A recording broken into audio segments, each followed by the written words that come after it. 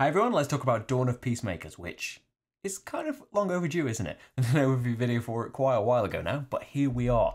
And if you haven't seen the playthrough and you're wondering where the game is and what I'm talking about, it's in the description. Go and look at that if you want. So, we have played through six of the scenarios halfway through the campaign. It's one of the games that you know, we were loving and got really into, but Essen happened and got in the way. And since then, other games happen. We don't really get to go back to that many games, but yeah, we have played quite a bit of it and unlocked a fair few nice surprises as well. As I mentioned at the end of the playthrough, this is a scenario based game, but it's full of, you know, well, not full of, there are some sealed envelopes and sealed boxes and things that yeah, provide a lot of nice surprises and, you know, unlocks of rules and things. The first scenario that I played through, if you're thinking, you know, it's kind of a bit basic and not much is going on, it's kind of an evolving game. It teaches you as you are going. The campaign book is the rules, and there is a separate index for you to reference various things if you just need to look something up but the the campaign is set up not just to show you all of these nice shiny things and surprise you and stuff, but it's there to teach you the game as well. So more is added as the scenarios go on. So it's got some really, really nice surprises. Uh, better than uh, some, you know, proper legacy games that we've played. This is all completely resettable. It's nothing's torn up or written on. It's just things are unlocked and opened, and information is provided so you can reset it all if you're worried about that kind of thing. But the the game as a whole, so the the thing that kind of attracted me to it in the first place, you know, it's it's from the designer and illustrator of um, Dale of Merchants, which is a really nice deck building game. Maybe we'll play through that one day. Uh, so it's the same kind of aesthetic, the same kind of uh, animal world that's really charming and endearing, and it really helps the story come across. But also, yeah, cooperative games I'm up for anyway. But this kind of theme of this this kind of AI war game that's going on in front of you, and you your role is not in those units whatsoever. It's in these completely independent, completely separate adventurers that you know don't have really their own you know hidden agendas and things. Their only motive is that you know this shouldn't be happening and we need to stop it from happening. We don't want anybody to be killed. We don't want a full-blown war to break out. And so while your goals and while the the things that are happening change and get more complex and uh, perhaps harder to deal with as the game goes on, that is ultimately what you are trying to do. And I really like the you know the the resource cards all refer to these different things that we're doing. You know, we're whispering in their ears, we're poisoning their food, just well, giving them food poisoning, not you know actually trying to get them killed.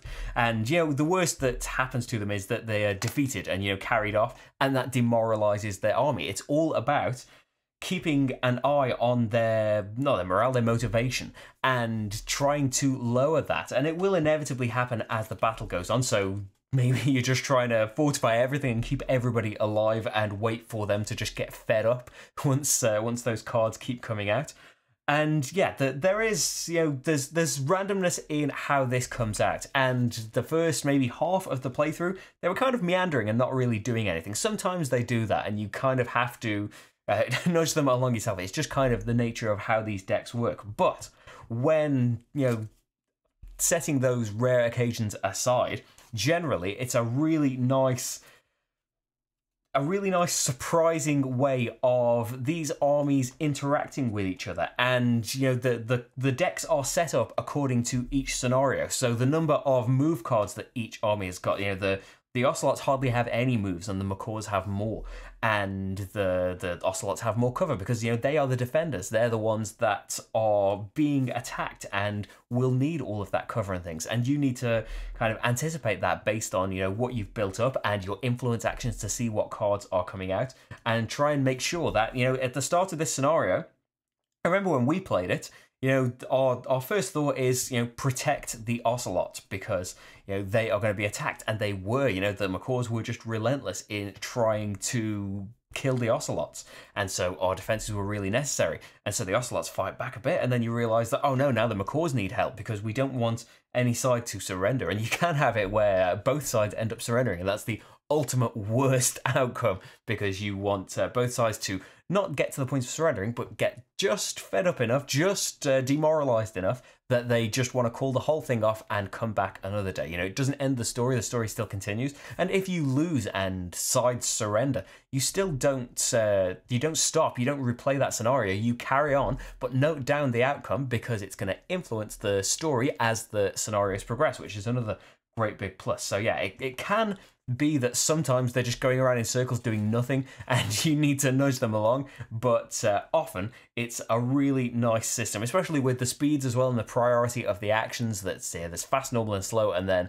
move cover and strike it's uh, it's a really nice interaction and the, the attack priority is nice as well you can you can predict what is going to happen to a certain extent but you've never got enough cards and actions and things to know 100% what is going to happen all of the time and that's kind of the the point of it as well that you are you're doing everything you can you're doing all of these uh, sneaky means that uh, are at your disposal but you can never quite know what they're going to do turn to turn. And it's full of uh, nice little touches like that like the directions that they're moving in that's going to influence their actions and their attack priorities.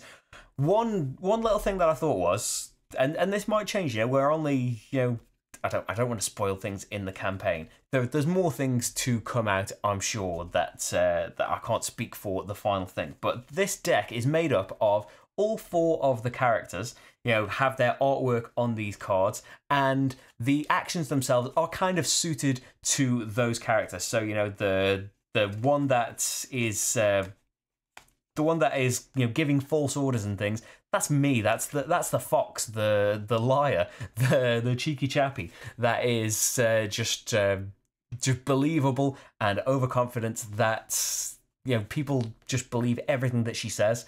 And you know so she has those cards. They are kind of themed to the kind of things that those characters would do but it's just one great big resource deck and the players end up just with cards from this deck the you know it's it's still something I've massively enjoyed. But one little thing that I thought was it it would have been nice if my if if I had a deck that was more customized to me doing all sorts of those things. But you know that's that's that's a different game then, isn't it? That's just something that uh, that occurred to us while we were playing through it that we would maybe like a little bit considering that we we picked our characters based on their descriptions on the front of the campaign book, and that does come across a little bit in the resource deck. But yeah, we would have liked a little bit more than that. But as I said, we haven't finished the whole thing yet, so who knows what's going to happen in those few games. But yeah, overall, it's a it's a really charming, beautifully drawn, uh, really endearing little story of you know this uh, you know it's it's it's all animals, so it kind of that's probably kind of adds to the the Disney uh, endearing element of it. But you know, aside from all of that, uh, you know, wanting to influence the story, want really wanting to help out, really wanting to prevent all of these things from happening. It's a really fantastic co-op where you do have to keep, uh, you constantly have to be interacting with each other because not not just because you can share symbols and stuff, but you know you need to be looking at the motivation constantly and seeing where you need to be because you know if you want to influence the macaws you need to be standing on their space. If you want to be uh, giving food poisoning to the ocelots you need to be going and standing over there. So it's about it's all about your positioning and not just the cards you're using what uh, which faction you're going to use your influence on to take a look at their decks. Which of their decks are you going to look at? And then how are you going to order these things? And you know, if you spend all of your influence on the task and you're like, oh, we really, really need the ocelots to cover this turn. So we've we've spent loads of influence and put cover on top. And then you didn't spend anything to look on the play deck, and then it turns out, oh, it's the revoke action, which means they're just getting demoralized and not doing their task this turn. So yeah, it's it's full of twists and turns and things, and yeah, it's it's not gonna it oh I haven't even mentioned. I was just going to say it's not going to satisfy the people that just want to fight. There's a skirmish mode in it. I can't really speak much about that or at all about it because I haven't played it. And if you know me, then you know that we have zero interest in games where we are fighting each other. So this that's I think I mentioned that at the start. That's why this theme, this uh, this way of doing things appeals to me so much that we are watching a war game happen by uh, unseen players and trying to influence it so that the war game is just called off. And I really, really like that uh, that aspect of it. But if you are after a bit of a skirmish and a bit of a fight between yourselves, there are rules and some extra cards and things that you can play the battles against each other instead of the co-op where you're trying to call them off instead. As I said, I haven't played that at all and I haven't got any interest in playing that side of it, but I do appreciate that it's there to appeal to more people and more situations. You know, you can play the co-op thing with one group and then maybe you've got a group that just loves fighting it and you can still play the same game with them with the extra modes. I think I've talked enough about this. Hopefully, I've given you some insight, maybe. Maybe I've piqued your interest into Dawn of Peacemakers. The playthrough is there though. I played through the whole of Scenario 1. Don't spoil anything if you haven't seen it, apart from the fact that there are ocelots and macaws in it and stuff. Depends what you class as a spoiler, really, doesn't it? I feel that the ending is going rambling and tailing off. So I'll sign off now. Thank you very much for watching this, and if you'd like to see more playthroughs, there's hundreds on this channel. Go and find one. They're great, probably. Thanks for watching, though, and I'll see you for the next game. Bye.